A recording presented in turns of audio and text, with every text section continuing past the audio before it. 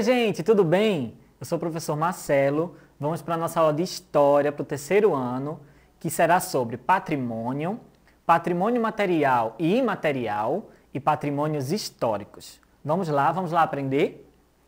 Vê só, a primeira pergunta é a seguinte: O que é patrimônio? Você sabe o que é patrimônio? Hum. Patrimônio é o seguinte, ó, patrimônio é um conjunto de bens que foram reconhecidos como importantes para preservar a identidade, a cultura e a história de uma sociedade e a história daquele lugar, certo? E aí existe uma diferença que eu quero mostrar para vocês de patrimônio, porque existe um nome que é dado ao patrimônio material e o outro nome é patrimônio imaterial. E aí você vai ver a diferença do que é patrimônio material e do, e do que é patrimônio imaterial agora. Vê só. Patrimônio material são elementos concretos, tá? Como construções e objetos artísticos. São, são elementos que a gente pode pegar, elementos que a gente vê e pega, né? E aí um exemplo é esse, essa imagem que vocês estão vendo aqui, ó, do Cristo Redentor, não é? É um, é um monumento artístico, um objeto artístico, né, que foi construído e que se tornou um patrimônio material, tá? E aí um outro exemplo que eu quero trazer é do patrimônio imaterial, para você perceber qual é a diferença do material para imaterial. Vê só.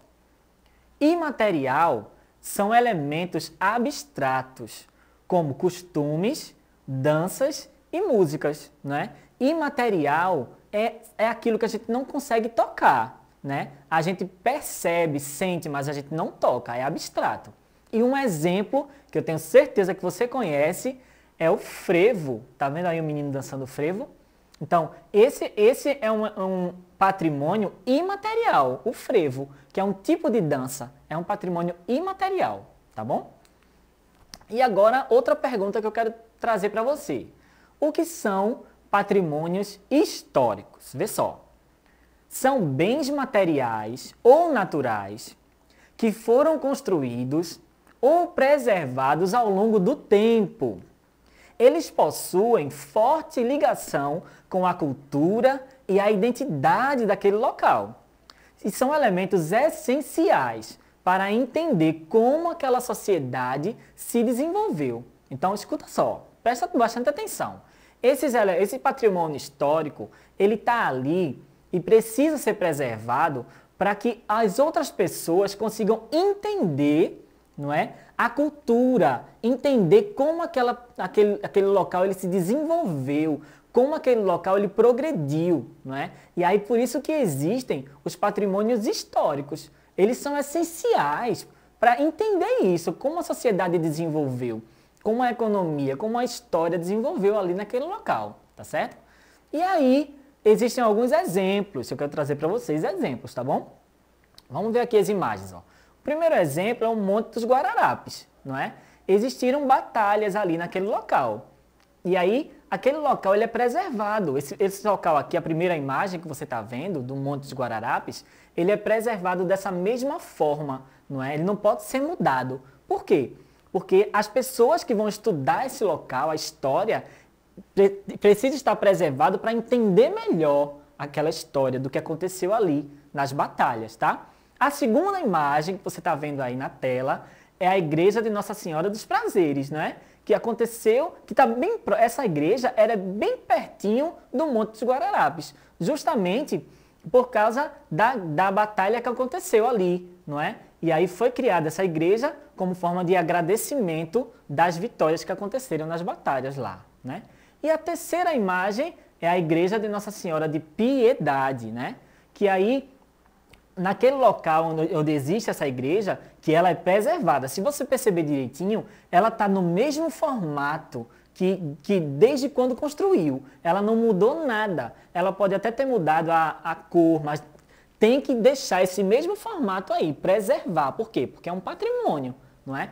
E aí, aconteceram desenvolvimentos ali da economia, não é? As pessoas, eh, os pesqueiros começaram a trabalhar naquele local e por causa disso, por causa do desenvolvimento, né, piedade, aí construiu essa igreja, a igreja de Nossa Senhora de Piedade, tá bom?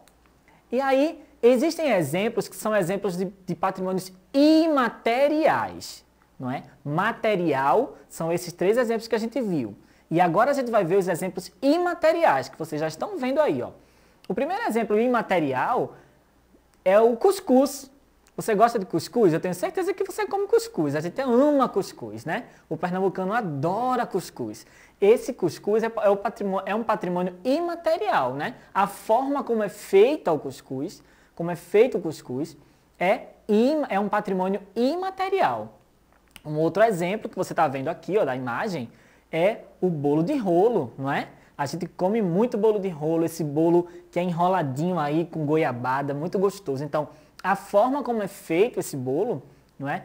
Se tornou um patrimônio imaterial, tá bom? E aí a gente vai revisar agora o conteúdo. A gente aprendeu muita coisa já aqui, né, nesse tempinho. Vamos revisar? Vê só.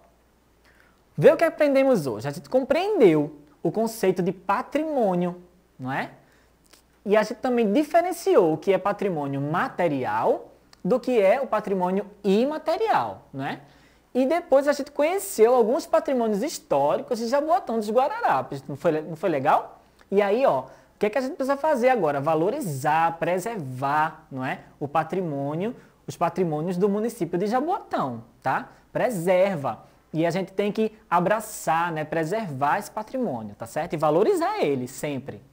Vê só, agora é tua vez, chegou o teu momento agora. Presta bastante atenção ao desafio, vamos lá.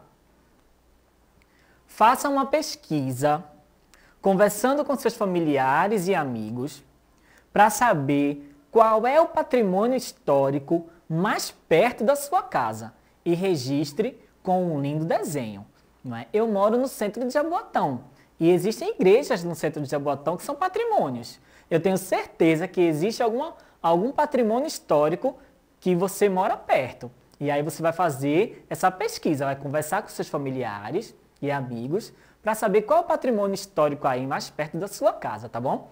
E aí você registra esse patrimônio, tenta fazer uma, um desenho aí, uma arte bem bonita e registra aí no seu caderno, tá bom?